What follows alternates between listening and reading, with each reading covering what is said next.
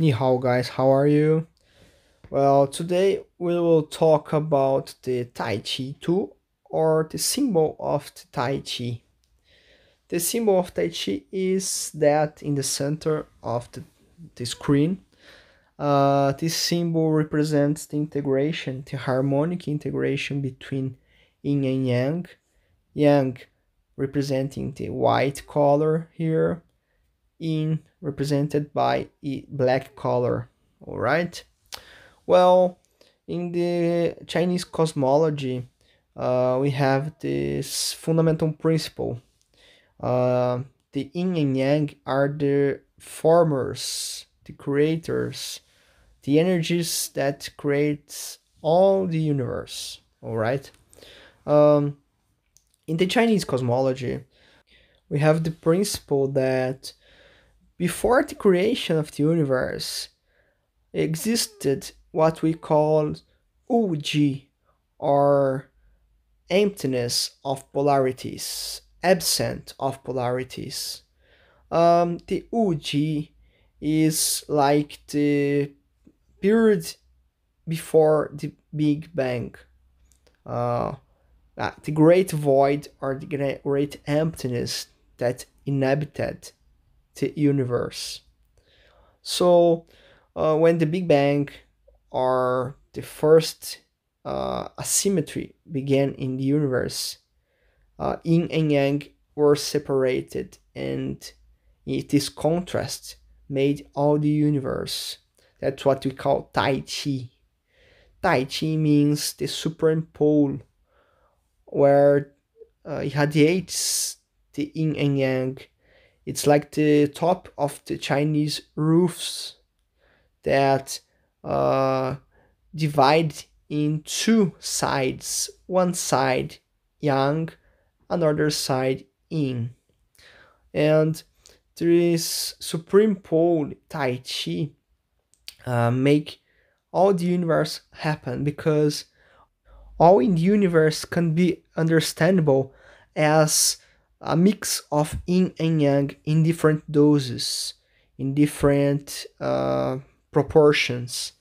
Uh, so the sun, the stars, the the, brill- the brilliant galaxies have more yang, or or in other in other, other way to understand, they have more yang as in different aspects. The black holes, for example, have a big amount of yin because they are black and receptive, different from the sun, the stars, and the sun, and uh, some uh, structures visible that manifest light, for example, manifest heat, etc.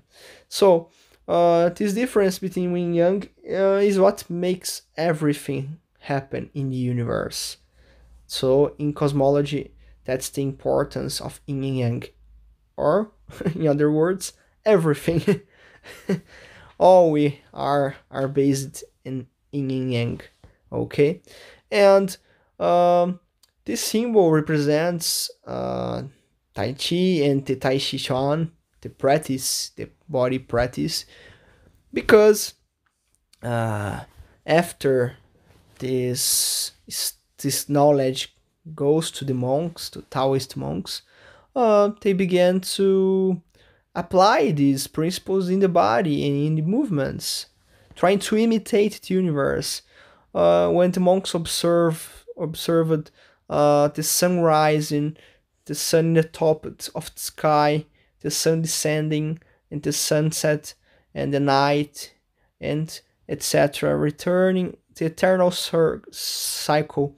Well, when the monks, the Taoist monks, perceive that, they begin to try to imitate this, uh, like uh, connect, being connected in the same rhythm of the universe, or in other words, inhale, exhale, and feeling they are entering the lungs, leaving the lungs, and low movements, soft movements, natural movements, like the universe, like the nature. And That's the basis of the Tai Chi Chuan, right? The Chuan uh, can be translated as, uh, as wrists or uh, hands, boxing, etc. Movements, body movements, and the Tai Chi, this principle, being applied to the movements in in the body. All right. So uh, this symbol Tai Chi Tu have white and black, have yang and yin, and this symbol is circular. It's not a square. Do you see that? Well, why is a circle? Because the circle represents the cycle, the continuous cycle without uh, extremes because uh, a square have four extremes, four points. But here we don't have these extremes or these points. We have the continuous flow, like the universe is being continuous flowing, all right? And we like nature are keep flowing too, like water. And uh, we have this division between yin and yang in circular movements too. Uh, it, and this represents the, the natural transition, the soft transition between yin and yang. The harmony lies down when we have this soft transition because if the imagine that the sun don't rises, the sun suddenly suddenly appears in the sky in the middle of sky suddenly and wow shines and every, where everyone got blind. Everyone uh, get burned by this suddenly appeared sun. Uh, that's not harmonic all right? Yeah or in op- opposite uh, perspective the sun suddenly disappear. That's very bad. That's very uh, anar- disharmonic so the harmony uh, lies uh, in the in the soft process of the sun rising, the sun growing, the sun sun on the top, the sun decreasing, the sunset, the soft movements and the night coming, the transitions. The soft transitions are very important in Tai Chi. In Tai Chi Chuan, we try to imitate this with soft transitions in the movements. So this is the reason of the circularity of the symbol, uh, this proportion, this transition, uh, the white appearing softly and going mainly, and the black appearing softly and occupying the system softly, and another time white and black, and but it is a soft and a flow. Uh, a tran- tranquility of flowing, all right? Not uh, suddenly appearing, like I said about the sun, or suddenly appearing or, or suddenly disappearing, all right? So that's it about circularity. Now, about the points. You see that we have a black point in the white, inside the white, and a white point inside the black. Why that? What does this mean? Well, the black point inside the white represents that in everything that is more yang, you have a little amount thing. In the, we don't have uh, in the universe, in the manifestation of the universe, extremes. Uh, always we have little amounts of the opposite polarity. Uh, we have we have things in, in, in the universe that are very very yang, like stars, like uh, some huge stars. But even in these yang uh, uh objects, we have yin. In the opposite side, we have uh, things in the universe that uh, are very yin, like black holes, for example. But even in these uh, objects, we have yang. That's the principle uh, the doses, the proportion. Uh, we don't have 100 yang or 100 yin. Always we have mix mix of these polarities, okay? And in the Tai Chi Chuan, is important to to perceive, to understand, because um, when we understand this, we can uh, put this in the movement. And this represents that we don't have to be extreme. We don't have to do extreme movements, too yang or too yin.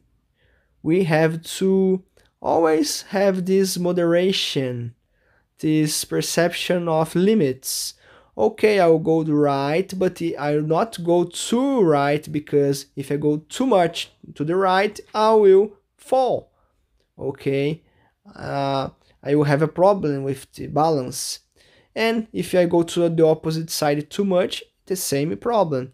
Then the doses, the proportion that you go to one side and you return to other side, and you always respect these limits. We always have limits in the body. Um, if I put too much weight in some parts of my body, maybe I, I can have problems. Maybe if I go too imagine that I'm going with my chest uh, to the front and I'm going inclinating my body then I go too much too much that I lose my balance and I fall. That's a problem all right? In tai chi we must seek the balance the harmony in the movements to avoid falling to avoid the the, the loss of balance the lose of balance okay? Now that's it. That's the principles of the symbol of tai chi Tu uh, if you have some questions doubts please ask me uh, send me a message and we will talking about more. Uh, i hope that you enjoyed this video that you understand more about this this symbol. And i'm sorry if you don't understand something. I'm brazilian and i don't speak so well the English, but I'm trying to improve myself every day following the martial arts principles. Okay, thank you for your attention and uh, bye. See you next video. Xexe.